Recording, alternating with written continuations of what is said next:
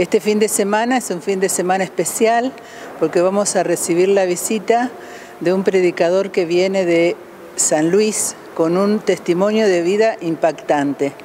Es eh, un predicador que dedica su tiempo completo a esa actividad y mm, aprovechando su visita hicimos para jueves y viernes un encuentro para los padres de los niños que, que comienzan la catequesis.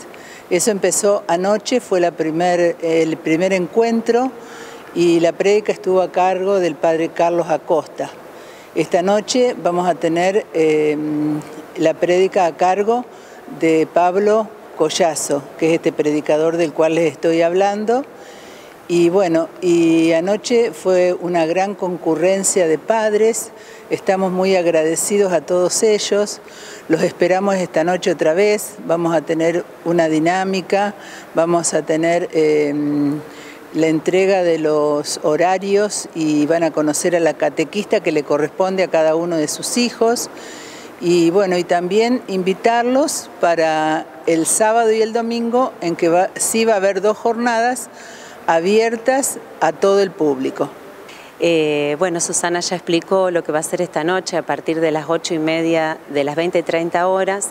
Eh, Pablo es un predicador de profunda eh, fe, es un laico consagrado a tiempo completo a Dios y realmente es una bendición tenerlo en nuestra comunidad así como cada visita eh, que hace a los distintos lugares del mundo, hoy nos toca a nosotros recibirlo.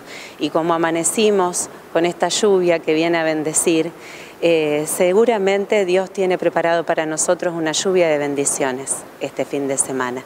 Y invitarlos a todos, más allá de que esta noche es para los papás de los niños que ingresan a la comunión, eh, que tantas veces pasa que como papás venimos con un legado eh, de una fe y queremos que nuestros hijos continúen, pero tal vez no tenemos esa experiencia personal con Cristo y esta es una oportunidad. Eh, lo que nosotros en este momento queremos hacer, trayendo a este hombre que es Pablo Collazo, es una persona que, tuvo, tiene muchos testimonios de vida, donde él en su vida tuvo que pasar muchas cosas y quiere contarnos eh, cómo fue su vida.